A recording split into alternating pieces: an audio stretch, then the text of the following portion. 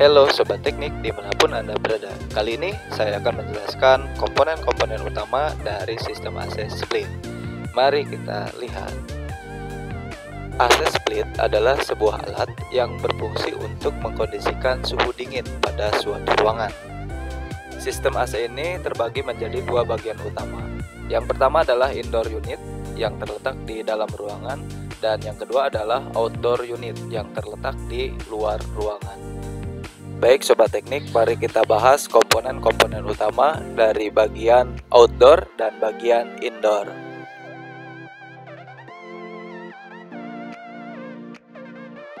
Komponen utama outdoor unit yaitu kompresor, kondensor, fan atau blower, dan pipa kapiler. Nah, saya akan menjelaskan komponen apa aja sih yang berada di AC outdoor. Kita mulai aja ada komponen apa saja. Yang pertama di sini ada kompresor ya. Kompresor bentuknya seperti ini. Ini untuk saluran hisap ya. Dan ini untuk saluran dorong. Terus di kompresor juga ada tiga soket RSC. R-nya itu adalah running, S-nya itu adalah start, terus kemudian yang C-nya itu adalah common ya. Di sini uh, common itu ada overload.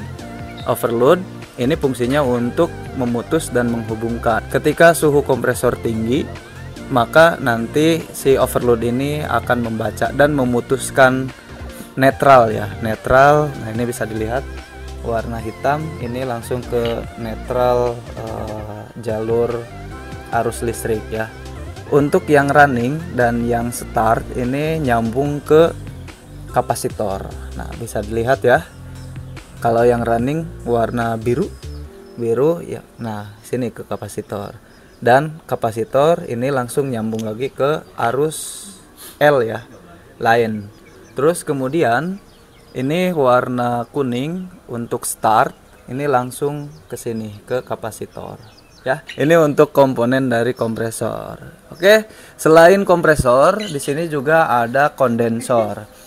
Jadi setelah dari kompresor, maka embun refrigeran akan dialirkan ke kondensor. Nah, bisa dilihat di sini kondensor bentuknya sangat besar ya. Dia terdiri dari sirip-sirip. Nah, ini sirip-sirip ya. Terus kemudian di sini ada pipa-pipa saluran dari refrigeran. Fungsinya untuk melepaskan panas dari refrigeran ke udara. Nah, untuk kondensor dia dilengkapi dengan blower ya. Nah, ini kipas untuk menarik udara dari belakang dan meniup ke depan. Setelah dari kondensor nanti akan disalurkan ke sini. Nah, ini namanya pipa kapiler. Ya, pipanya lebih pipanya lebih kecil, dia fungsinya untuk memampatkan. Jadi setelah keluar dari pipa kapiler ini, bentuk refrigeran akan berbentuk embun ya, embun dan dingin.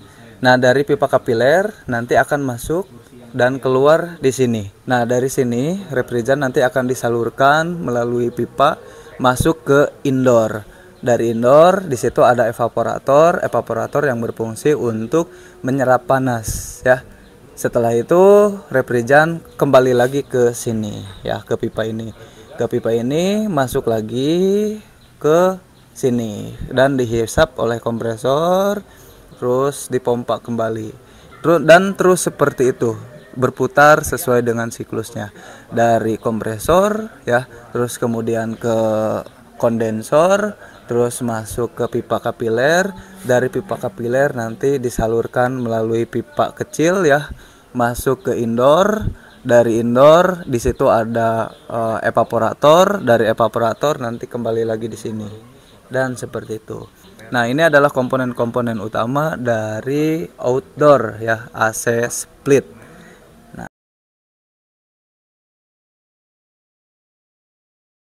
Komponen utama indoor unit adalah evaporator blower, dan kontrol modul. Oke teman-teman, ini adalah indoor dari AC ya. Komponen utamanya adalah evaporator ya. Dari outdoor tadi selang atau pipa yang kecil nanti akan disalurkan ke sini ke evaporator dari evaporator terus kemudian nanti akan disalurkan ke seluruh evaporator ya karena sifat dari refrigeran itu e, berubah wujud sehingga ketika melewati pipa kapiler maka refrigeran akan berubah ya menjadi embun dan dampaknya evaporator akan dingin. Nah, blower ini akan menarik udara dari atas dan menghembuskan ke sini ke evaporator. Nah, udara di sekitar kan panas ya. Udara di sekitar panas sehingga uh, sehingga udara panas akan melewati evaporator dan di situlah terjadi penyerapan panas dari udara dan udara yang keluar dari AC ter akan terasa dingin. Nah, gitu ya teman-teman. Dan di indoor ini dilengkapi dengan modul. Nah, modulnya di sini dia berfungsi untuk mengatur suhu yang diinginkan ya kayak gitu Baik sobat teknik, itu adalah komponen utama dari AC split ya atau AC rumah. Semoga bermanfaat. Apabila ada pertanyaan, silahkan langsung ditanyakan di kolom komentar. Wassalamualaikum warahmatullahi wabarakatuh.